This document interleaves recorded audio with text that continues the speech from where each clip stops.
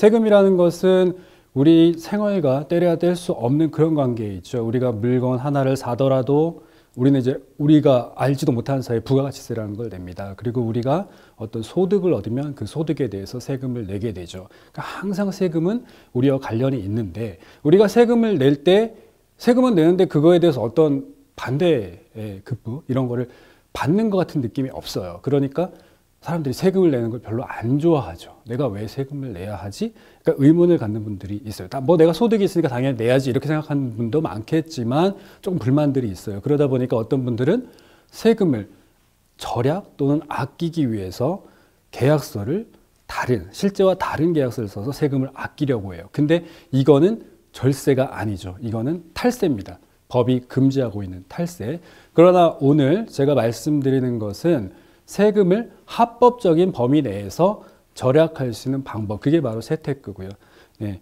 재테크와는 또 다른 영역입니다. 재테크는 재산을 불리는 그런 영역이고요. 재테크, 재테크 또한 세테크, 세금과 떼서는 생각할 수가 없어요. 재산을 많이 불렸는데 세금을 꽝 이렇게 맞는다. 그러면 굉장히 그 약간 좀 가슴이 아프고 억울한 마음이 들겠죠. 그래서 세테크라는 것은 그렇게 만약에 그 잘못 우리가 법 지식을 잘못 알고 있었으면 그 불필요하게 발생할 수 있는 그런 세금들이 발생하지 않도록 하고 법이 허용하는 범위 내에서 우리가 아낄 수 있는 게 있다면 아낄 수 있도록 도와주는 것이 바로 세테크의 영역입니다. 제가 오늘 말씀드리는 것도 바로 그런 부분이고요. 그리고 세테크, 세테크는 반드시 이제 세법의 해석, 적용과 관련이 되고 그 세법은 매년 대폭 개정이 됩니다. 왜냐하면 세금은 사회 현상을 반영을 해요. 사회 현상이 이렇게 되면 그거를 촉진하거나 방지하기 위해서 세법을 어, 개정을 하고요. 또 세법이 개정되면 그거에 따라서 사회 현상이 또 막 변해요. 그래서 거기서 또 문제가 생기면 또 세법을 개정해야 됩니다. 그래, 그렇기 때문에 세법이 자주 개정이 되는 거고 우리가 세법을 잘 알아야 되는 그런 이유가 되는 것이죠. 자, 오늘 특히나 이제 이번에 최근에 가장 많이 이제 대폭 개정이 된 것이 이제 다주택자 양도 소득세 부분 또는 주택 임대 사업자들의 소득세 관련 종합부동산세 이런 부분들이 대폭 개정이 됐어요. 그런 부분들에서 어, 중점을 둬서 어, 설명을 드리도록 하겠습니다. 근데 이런 모든 설명을 드리기에 앞서 중요한 것은 과연 세금이 무엇이고 세금이 어떻게 구조로 짜여져 있고 어떤 과정을 통해서 부과가 되며 어, 그런 부과가 됐을 때 만약 억울한 부분이 있으면 어떻게 불복을 할 것인가 그런 부분을 먼저 살펴보고 가도록 하겠습니다. 자, 첫 번째 세금의 기본이라고 이제 제목을 달아봤어요. 세금. 자, 세금이란 세금이란 무엇이냐? 국가, 지방, 자치단체가 각종 서비스를 하잖아요. 그 서비스에 필요한 국가도 돈이 있어야 돼요. 그런 서비스를 하기 위해서 국가, 지방자치단체가 어떤 서비스를 이용하는 데 있어서 자기들도 이제 공짜로 이용하는 게 아니죠. 그죠? 돈을 줘야 됩니다. 그런 돈을 어, 경비에 아, 필요한 돈을 이제 확보하기 위해서 세금을 이제 징수하는 거죠. 세금을 징수할 때는 징수했다라는 이유로 그 세금을 낸 사람한테 반대급으로 바로바로 주는 게 아니에요. 그죠? 뭐, 우리가 물건을 천 원짜리 사면 천 원짜리 해당되는 물건 우리가 받죠. 그러니까 그런 관계가 아니라는 거예요. 강제적으로 그냥 반대급 없이 징수하는 것. 그것을 바로 세금이라고 한다. 그러면 이제 세금의 이제 종류를 보시면 조세, 국내 조세, 국세, 내국세, 그다음에 관세, 지방세 이런 식으로 이제 나누는데요. 조세는 국내 조세와 국제 조세 이렇게 영역을 나누고 예전에 사실 이 국제 조세라는 영역은 크게 이제 환영받는 뭐 그런 영역은 아니었어요. 별로 이렇게 관심 많은 영역은 아닌데 최근 들어서 이제 그 역외 탈세라든지 해외 기업들이 이제 우리나라에서 많이 투자를 하고 그냥 소득을 얻어가는 데 있어서 과세를 어떻게 할 것이냐 이런 어 문제들이 많이 발생하면서 이제 국제조세 영역이 굉장히 각광을 받기 시작했고요. 많은 사람들이 이제 국제조세를 하고 싶어 하죠. 예. 근데 이제 우리의 지금 오늘 이 강좌의 목적인 세테크는 이제 국내 조세 영역이에요. 그래서 이제 국내 조세 이 부분을 보시면 되는데요. 국내 조세는 국세와 지방세로 나뉩니다. 국세는 이제 국가가 그죠? 지방세는 지방자치 단체가 걷는 세금이 되겠죠. 이 국세는 내국세와 관세로 이제 구분을 할 수 있고요. 내국세는 법인세, 소득세, 부가가치세, 종합부동산세 이런 것이 있고 또 상속세, 증여세 이런 것이 있습니다. 지방세는 취득세, 재산세, 등록면허세, 레저세, 담배소비세 이런 세목이 있습니다.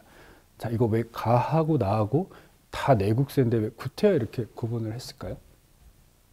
조금 차이가 있어요. 같은 국세인데 법인세, 소득세, 부가가치세 이거는 계속 빈번하게 발생해요. 너무나 많은 사람들이 법인세 또는 소득세를 납부를 합니다. 그래서 이런 세금들은 뭐 부가가치세도 마찬가지고요. 일단 납세자가 신고 납부를 하면 국가에서 그대로 인정을 해주겠다. 그죠? 납부한 거를 그대로 맞다라고 일단은 인정을 해주겠다.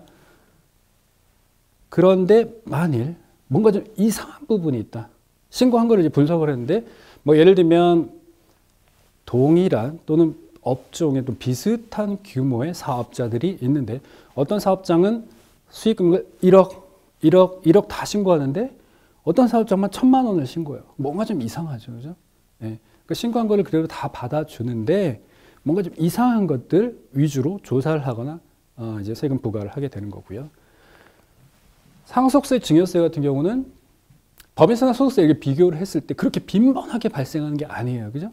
상속이 일어났을 때 누가 증여를 했을 때 그런 시점에만 어, 발생을 한 세금이에요. 근데 이거를 법인세나 소득세처럼 너, 아, 납세자가 신고하는 걸 그대로 인정해 주겠다라고 한다면 우리가 만약 음, 뭐 예를 들어서 한 100억짜리 건물을 증여를 받았다. 근데 납세자가 그냥 아 이거 50억짜리예요. 또는 나는 이거 10억짜리라고 생각해요라고 신고를 하면 세금을 확 낮출 수가 있잖아요. 증여세를 그죠 증여 받으면서 그거를 인정을 못 하겠다는 거예요. 그래서 이런 거 상속세나 증여세는 납세자가 신고하는 금액 그게 시가에 맞는지를 국세청에서 한번 확인해보고 맞다라고 해서 확인을 해주면 그때 비로소 이제 세금 납세물 끝나는 거 확정돼서 끝나는 걸로 어, 하겠다. 그래서 이제 가하고 나는 이렇게 구분을 한 거고요. 이 세목을 이제 구분한 거는 그 뒤에 또 이제 어, 설명하는 데서 좀 차이가 있어요. 한번 보실게요.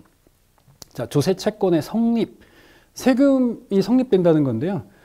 과세 요건이 충족되면 당연히 그냥 성립해. 조세 채무가 추상적으로 성립해 있는 거예요. 추상적으로 성립해 있다라고 하는 게 그 성립한 금액이 그대로 그냥 세금을 신고 납부하라는 게 아니고 그냥 이제 성립이 돼 있는데 이거를 세금을 납부하기 위해서는 신고 납부하기 위해서는 확정을 시켜야 되는데 그 전 단계예요.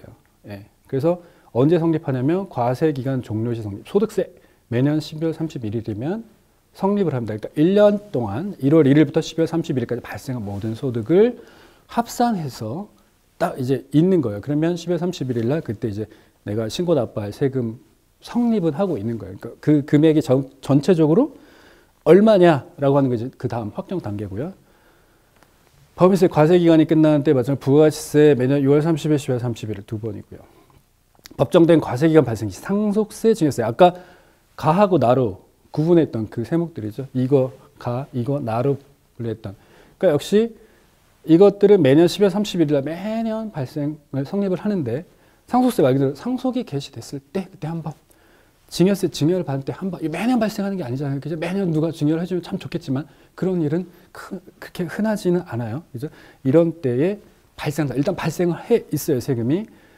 그러면 조세 채권을 이제 발생해 있는 채권을 확정을 시켜야 돼요. 이 확정을 시킨다는 게 추상적으로 성립되어 있는 세금에 대해서 납세자가 납부를 하거나 또는 국가가 징수, 그죠? 성립되는 거를 다 징수할 수 있는 게 아니고 딱 확정돼서 내가 이만큼을 징수할 수 있도록 국가가 할 수 있도록 확정 짓는 것, 그거를 말해요. 조세채권. 자, 신고 납세 방식. 아까 법인세, 소득세, 부가세는 납세자가 신고 납부를 하면 일단은 아 그래 그게 맞아 이렇게 확정을 해준다 그랬죠, 그죠? 과세 표준을 스스로 과세 표준과 세액을 계산해서 신고 납부하면 확정 끝 그대로 인정해주겠다. 근데 신고 내용에 오류 탄력 뭔가 좀 이상해 그러면 국가가 봐서 다시 경정 확정시키는 겁니다. 네.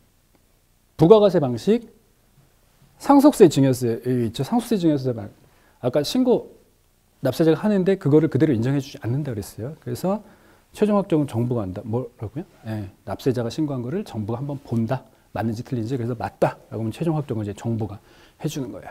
네. 그런 차이가 있습니다.